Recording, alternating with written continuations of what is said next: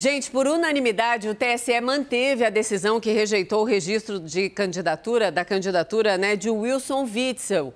Quem está de volta e tem os detalhes para a gente é o Pedro Duran. Conta, Pedro.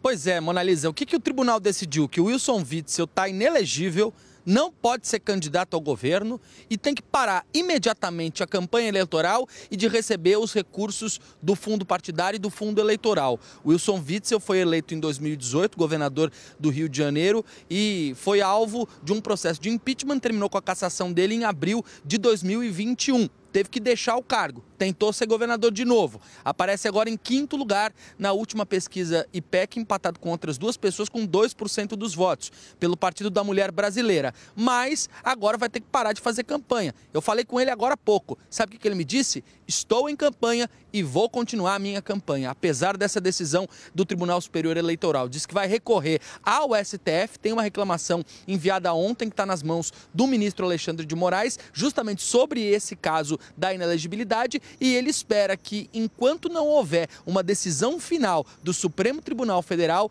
ele possa continuar fazendo campanha normalmente e espera que tenha votos para conseguir um bom resultado no domingo, dia das eleições para governador e também para presidente. Então, Wilson Witzel, apesar da decisão tomada agora há pouco pelo Tribunal Superior Eleitoral, diz que vai continuar a campanha para governador aqui no Rio de Janeiro. Monalisa. Está esticando a corda, né? Um ex-governador, sem dúvida. Muito obrigada, Pedro.